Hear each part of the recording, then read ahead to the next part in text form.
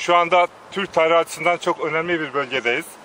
Burası İtil Bolgar Devleti'nin başkenti.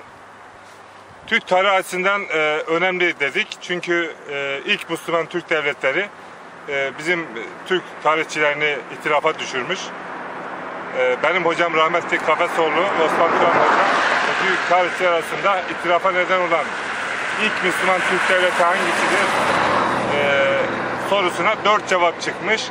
Karahanlılar, Ihşidiler, Torunoğulları ve İtil Bolgar devleti ve öğle namazını bu gördüğünüz ilk mescitte kılmayı e, düşünüyoruz.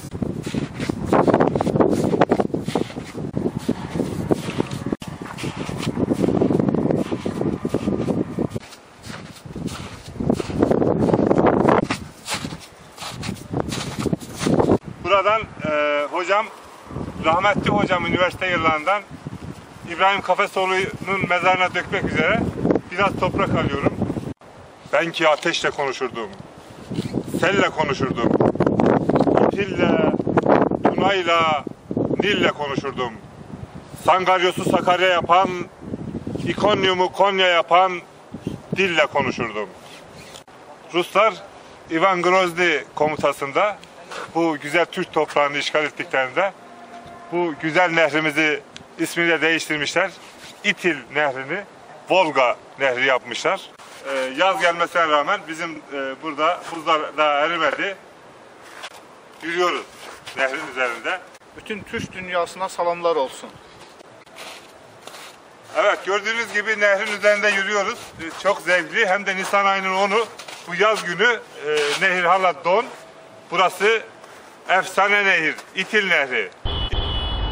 Türk tarihinin e, en önemli fikir kaynaklarından birisi olan e, İbrahim Kafesoğlu hocamın kabri başındayız. Rahmetle minnetlanıyorum. Türk Duran ellerinden getirdiğimiz toprağı e, hocamın mübarek kabrine dökmek istiyorum.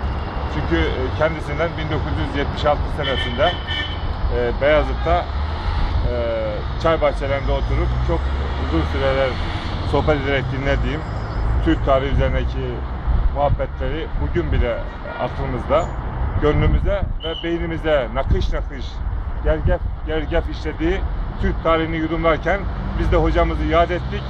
Türk ellerinden getirdiğim toprağı mübarek kabrine hocamın döküyorum.